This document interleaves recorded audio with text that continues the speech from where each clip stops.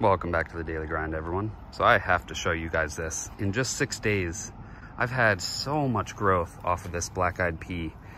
If you look at this, I mean, they're starting to vine out and we even have the beginning stages, some flowers.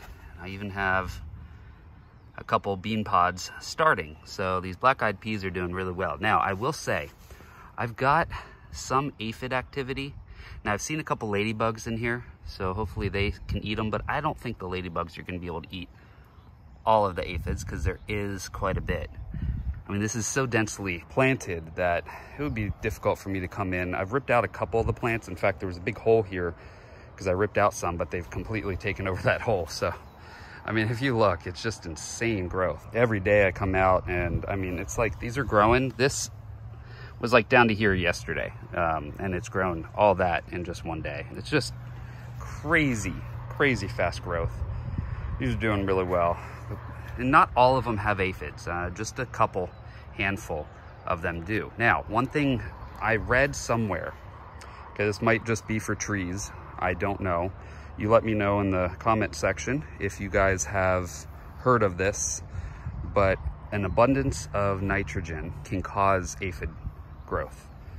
And that's in trees. So I was watching some video on it and they were saying that if something has too much nitrogen, then there's an imbalance in the nutrients and that can cause aphid growth or aphid infestation. But only a handful of these have it. One thing about beans, any of the legumes, I don't know if I'm saying that right, but any of those, they pull nitrogen out of the air versus getting it from the soil. In fact, they actually put nitrogen back in the soil. So it could be that there's just an abundance of nitrogen in the air and they're able to pull it out. I mean, if you look at this, these are like super dark green leaves. Of course, the new growth is going to be a lighter green, but these are really, really dark, dark green leaves. And so they probably have a ton of nitrogen. So I'm guessing maybe that's it. And the seems like I'm getting more flowers on this side there's really nothing on that side yet. I will get it at one point, I'm sure. So I wonder if, because of the way that the sun hits, it's close, maybe it's closer, because if you look, there's the chicken coop. It's a little closer to the chicken coop. These ones are getting more nitrogen from the air, because they pull it out of the air. I don't know. I mean, this is just hypothetical.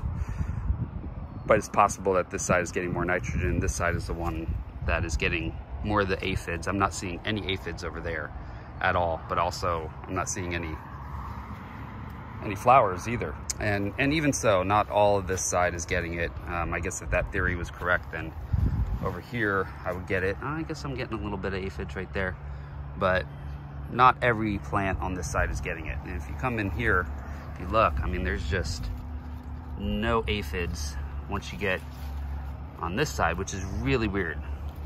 Got a lot of bean, um, flower, flower starting. Even over here, there's some, I guess yeah, there's definitely some. But no aphids, no aphids at all. See, this is new. This wasn't here yesterday. Um, I was looking over here and I'm not, I didn't see any of the flowers like I'm seeing now. So there's absolutely no aphids on this side. It's only that side. So maybe it's just that the aphids started here and they're gonna work their way down. I'm not sure, but let me know in the comment section, guys, what you think about that. I'm pretty excited about this, guys. Can't believe I'm already getting flowers, so I'll definitely get at least a little harvest off of this before winter.